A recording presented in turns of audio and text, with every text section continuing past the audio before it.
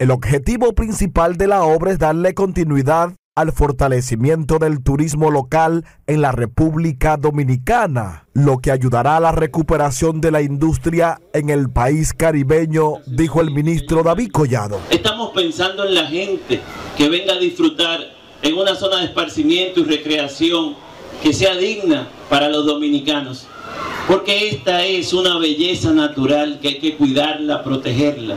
Esta obra tan importante que impacta positivamente el turismo y que resalta lo que es la economía y el avance de la provincia de Bauruco. Actualmente el balneario Las Marías es uno de los más frecuentados por los lugareños y visitantes. Sus aguas cristalinas lo convierten en un lugar mágico que da la bienvenida a los que visitan el municipio. Es uno de los más grandes de la zona con una superficie de 624 y una profundidad que oscila entre los 0.5 y los 4.5 respectivamente. Creemos firmemente en el potencial que tiene la provincia de Bauruco de convertirse en un símbolo ecoturístico y con esto se crean nuevos empleos, se dinamiza la economía de la provincia y esto va a ser parte de todo el desarrollo que tenemos pensado en el Gabinete de Turismo en la zona sur.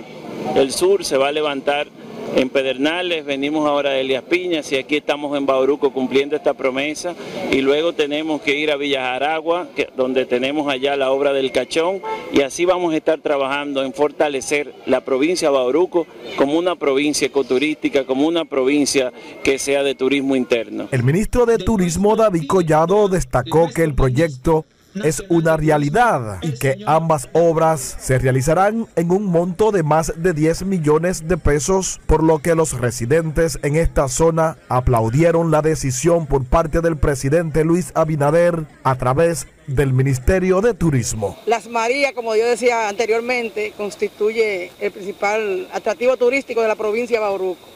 Y no tan solo de la provincia de Bauruco, esto es de la región. Cuando se habla de dar la vuelta al lago Enriquillo, es una parada obligatoria en las Marías. Es decir, que esta obra va a venir a fortalecer la riqueza que tenemos como balneario Las Marías.